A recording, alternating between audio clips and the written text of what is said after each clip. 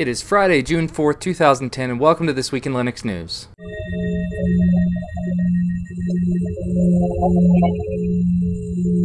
I hate to say it, but it was kind of a slow week for Linux news. Late last week, in a story that I seem to have missed, KDE released what is the first beta of KDE SC 4.5. So, what's new in 4.5? They've added a completely reworked notification area. They've added KWin tiling to allow users to automatically tile windows, which sort of bridges the gap between desktop environments that have tiling and between KDE, which didn't have it before. They've added the ability to replace the KHTML engine in Konqueror with WebKit, and a special focus is going to be on stability. The final release for 4.5 SC of KDE is due out in August. In an exciting change of pace, Google has announced that they will be releasing their Chrome OS in late fall of 2010. I actually haven't had a chance to look at Chrome OS in a while, so I'm excited to download a copy of it and just see how it works. Of course, the initial design is intended for laptops, but I believe they will be putting it on desktops in the long run. And in a move that I'm actually kind of surprised about, they say that all of the applications are planned to be cloud based, including photo and video editors. That was actually one of the things I was really wondering about. Video editing on a PC can take a lot of resources, it can take a lot of time. Getting your videos to a cloud based server could take forever and a day if you don't have a really fast connection. So at this point, I'm intrigued. I want to see what video editor they plan to use, how powerful it's going to be.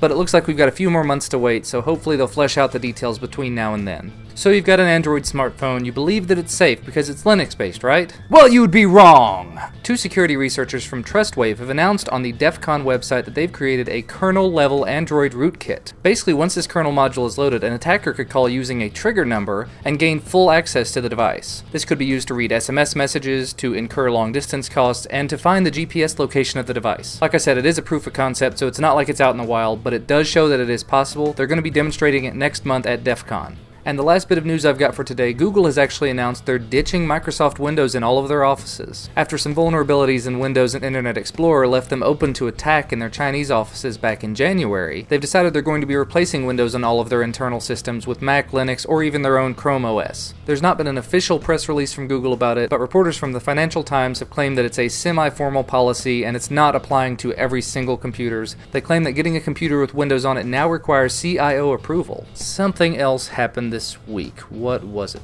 Oh, yeah, Ubuntu 10.10's Alpha 1 is now released. It feels like only a couple of days ago that 10.04 released, and now we've got an alpha. At this point, it appears that the alpha is mainly just upgraded packages on top of 10.04, but if you look at the blueprint list for Maverick, they've got a lot of things planned. They've got a lot of things already in the works. I'm actually downloading 10.10's Alpha 1 right now. I'm going to give it a shot and see how it works out. If it works out decently in VirtualBox, I might give it a review sometime soon. As a little update to one of the distro releases last week, MeeGo 1.0 releasing, I've actually installed MeeGo on my netbook here, and I've been running it all day. It's very nice at this point, it's got a great interface. It's kind of slow though, and there's not a whole lot of applications available for it yet. That said, it is still version 1.0, and I look forward to seeing where it goes from here. If you'd like to see me do a full review of this, I will definitely give it a shot. It's on the list at thisweekinlinux.com. Feel free to go there and vote for it if you want to see it. Well, like I said, it was a short news week, so that's all I've got for you. If you haven't seen them already, make sure to check out my Intro to Kdenlive video from Monday and my OpenSUSE distro review on Wednesday. Of course, I will be doing a live stream on Sunday night at 9 p.m. Eastern. And if you haven't already done it, I would really appreciate it if you'd hit that subscribe button up there. As always, though, thank you for watching, and I will see you next time.